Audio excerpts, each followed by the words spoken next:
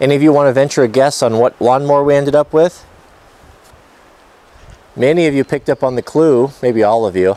I'll show you. I think the clue was too obvious. Mrs. W and I ended up getting a John Deere X300.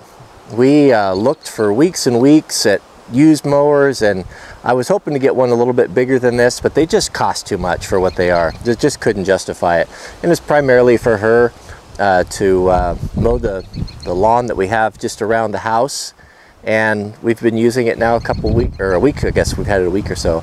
And it's just a really nice mower. It's just perfect. It's uh, easy to get around and it's got really good power.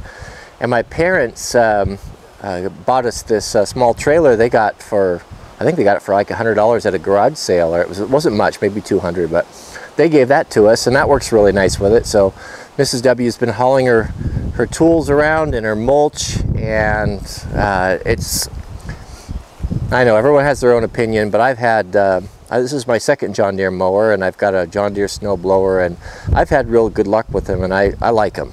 Um, yeah, it may pay a little bit more for the name, but they are uh, they make a good mower. Got a Kawasaki engine in it, and and I we're real happy with it. It just works out perfect.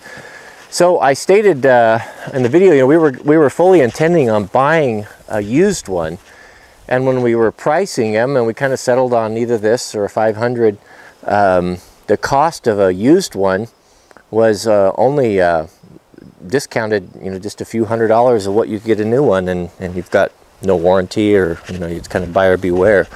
So uh, we have a really uh, great uh, local John Deere dealer here and um, he gave us a real good deal on it and we ended up getting a brand new one. So so that's it that is the uh, that's the mower and I couldn't be happier it just really works well and we're we feel really blessed to have it and we thank all of you who purchased t-shirts of our Teespring campaign um, so we were able to get this. And, and, those shirts should be arriving soon if they haven't already. So I have been working on the uh, treehouse all day.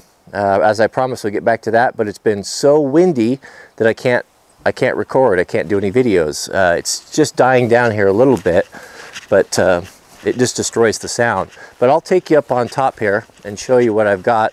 Hopefully I'll get an early start in the morning and it won't be so windy tomorrow and we'll uh, I'll bring you along for finishing up but I'm about halfway done I, I don't think I've received so much negative uh, negative comments on anything I've ever done well apart from the coyote video but uh, than this spring